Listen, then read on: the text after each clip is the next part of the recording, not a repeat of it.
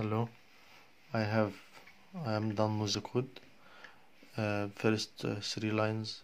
Some settings for the code the, uh, the pin of the motor and uh, of the vibrator and the pin of the pressure sensor and uh, the value. This is, it is a parameter that we will store value of pressure from the pressure sensor.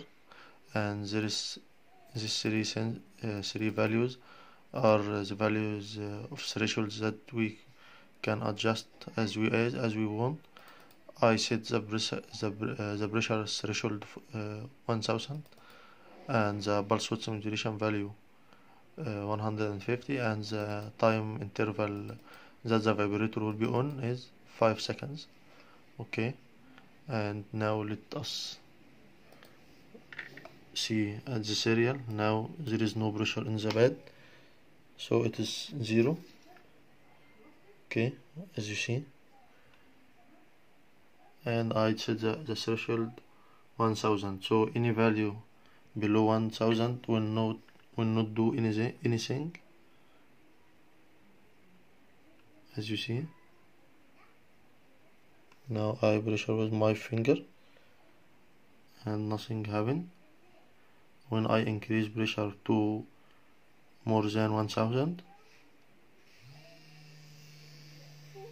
vibrator go on with pulse width modulation 60% represented by 150 pulse width modulation value.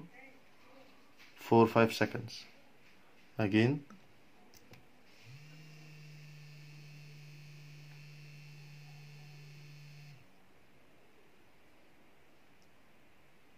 nothing happened.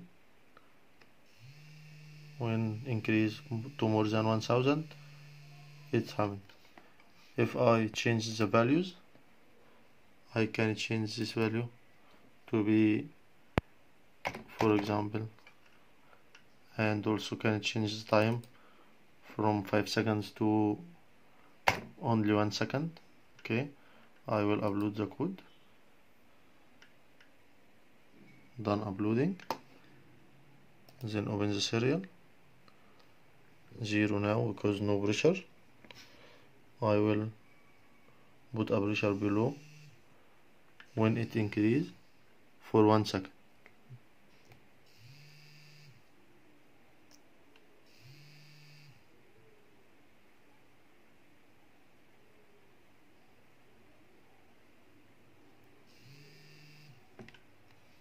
thank you